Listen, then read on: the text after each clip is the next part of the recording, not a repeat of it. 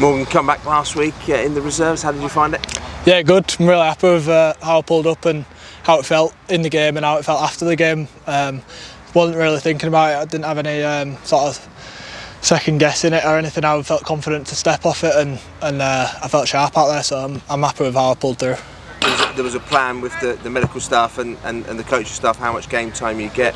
Yeah. That must give you confidence the way you're being managed back into it. Yeah, it's been uh, all really carefully planned out. Um, and obviously, I had limited minutes today, uh, limited minutes on the weekend, but um, still did a bit of con and stuff after the game to keep uh, ticking over. And I felt confident with uh, what I produced. So um, I'm really happy with where I'm at and and uh, how I'm feeling after this.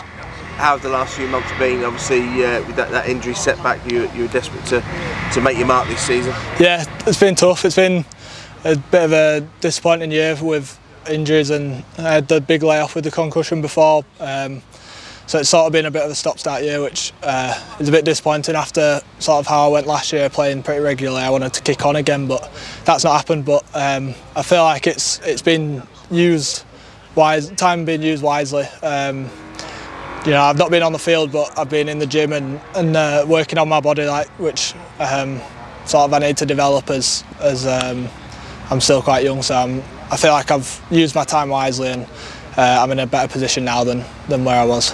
And presumably, if you could pick a time to be coming back into the side, it's the, the business end of the season when when, when the, the trophy's up for grabs. Yeah, um, obviously I want to get back in the team and, and you know um, show show what I can offer and help the team to to make the playoffs and uh, no better time than coming back with a couple of must-win games for us um, to really push for that uh, top six. And games against teams who are, around us in, in that top six battle, does that put extra weight of expectation on?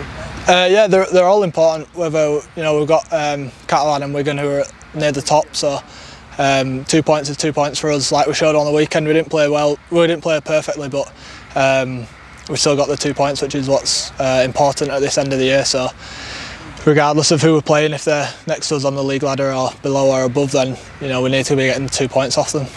And having spent some time with the with the lads in the in the reserve team and seeing the, the next generation players coming through, do you think Leeds fans should be excited about the, the talent that's coming through? Yeah, we've got we've got a good crop of lads that are you know my age and a couple of years younger, and um, there's a lot of exciting you know talent that, that's uh, still got to be developed with some uh, some of the lads. There's some really good athletes and stuff, and the skills coming along, which you know they've only been in the first in and around the first team for a year or two, and uh, they've shown what improvement they've made. So um, there is a good uh, bunch of lads, and and uh, you, you saw that on Sunday.